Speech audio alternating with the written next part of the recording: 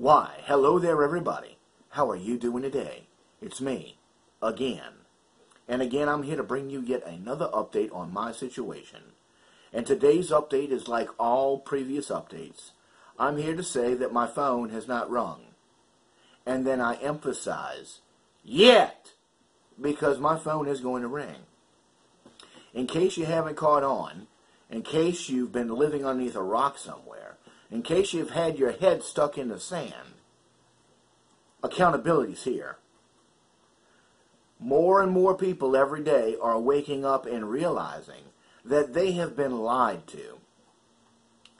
Now, this is scaring the fakes, the frauds, and counterfeits. Because you see, there's a huge difference.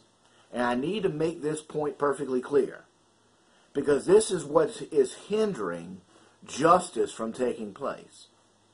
There is a huge difference between you lying as a private citizen, you fibbing about something, whether it be about anything, then, uh, uh, or let's just say you you lie uh, saying that you know something, because that's the most common lie. The most common lie is, oh, you know exactly what's going to happen. When the reality is, you don't have a clue as to what's going to go on. You're just parroting out other information. Okay? Now, what happens when it's found out that you were lying or fibbing, spoke out of context, spoke out of whatever? Well, nothing. You just get embarrassed. That's all. You get outed for being a liar. However, when anyone who has taken an oath, when they lie, they are committing a felony. They are committing a criminal act. Because, hello, they have taken an oath to basically tell the truth, to uphold the law, not to lie, to tell the truth. And folks, when you take that oath, uh, there is no time when you are never not under underneath that oath or under the oath. Don't believe me? Ask any military person. Ask any military person that was sworn in and took the oath uh, uh, of service. They'll tell you that oath is until the day they die. Same thing for a political office. Same thing for law enforcement. Same thing for judges. So when they lie, even on the weekends, they are committing crimes. Now, when they, or should I say, they're they're committing they're committing a criminal act if they lie during the performance of their of their official office duties. Okay, so just to keep it simple, if a police officer lies about something personal in in his or her life, well, they'll just be outed for being a you know a liar. That's not a criminal act. But if a police officer lies, meaning they see a crime, and they fail to report or do something or enforce the law, because, hello, that's what their name is. That what their their their their job description is in their job title. They are law enforcement. They have taken an, an oath to enforce the law.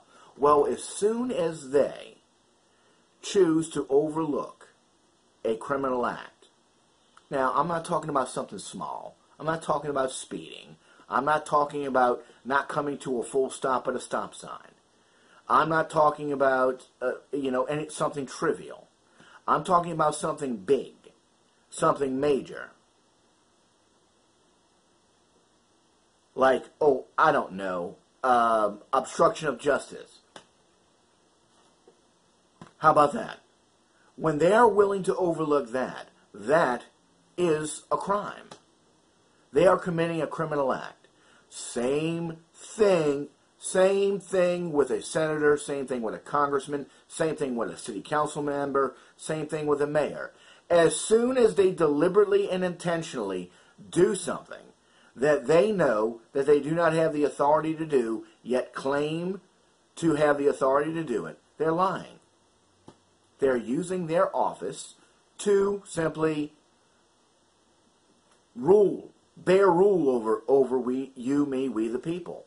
When it is you, me, we, the law-abiding citizens of this great country who are in charge. So again, just to keep it simple, it's it's when you lie as a citizen, when you have a personal lie, something that does not affect others, that's not a crime. However, when law enforcement officers, when when people who have taken an oath, judges, attorneys, overlook, over, choose to overlook something, they are lying to themselves, they are lying to the truth, they are lying to you, me, we, the people, and letting crimin, criminal, criminality slide. They're not doing their job. And that is a criminal act. So says the law. And what more and more people across the United States of America are waking up and realizing is that their guy, their gal, has been lying to them. Plain and simple.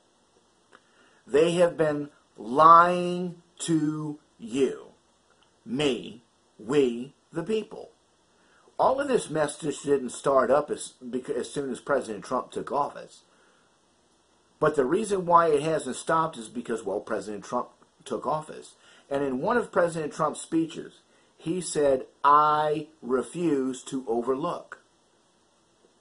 And it's all coming to a head now. Everywhere. That's why California is coming to a head. That's why Washington, D.C. is coming to a head. That's why even my situation right here in Jacksonville, Florida is coming to a head. Watch. It's only a matter of time before we start seeing some cuffing and stuffing. Why? Because the truth is the undefeated, undisputed champion of all times. The truth is clear in the field. Almighty, this is a move of Almighty God. Plain and simple. And you cannot you cannot profess to be a a minister of Almighty God, which Christian go read Romans chapter 13. That's what that's what that's what every authority is professing to be. You cannot be a minister of Almighty God and lie. So says the law, because so says the word of Almighty God, because so says Almighty God. Again, Christian, read the book. Well, we're tired of being lied to. We're tired of overlooking. We're tired of the deadlock. We're tired of the bullying. Because that's the only thing. We're tired of the covering up. Of the covering up. We are tired of the death and destruction that comes from all the lying, from all the criminality. And now it's come to a point where they have lied so many times they, ha- they have created their own paradoxical situation, meaning they have gotten caught in their own paradoxical situation, their own catch 22. They do not want to resolve it because, in order to resolve it, means the problem must be removed, and they are the problem. You see, again, a paradoxical situation is a problem that that whose only solution is is that the problem didn't exist. Well, the problem that we have in this country is all of the just to keep it simple, lying that goes on on a daily basis throughout all levels of our government, throughout all levels of our law enforcement. And what we're re- waking up and realizing is is that your guy, your gal has known about all these problems and has chosen to overlook. They have chosen to to violate their own oath. And now we, the people, are demanding that the laws be enforced. Don't you all remember Drain the Swamp? Well, look at this. The swamp is being drained. The reason why these people have chosen not to run again for Congress. No, they haven't been bought out. They were bought out, they would just sit there. They're trying to escape accountability. You can't escape accountability.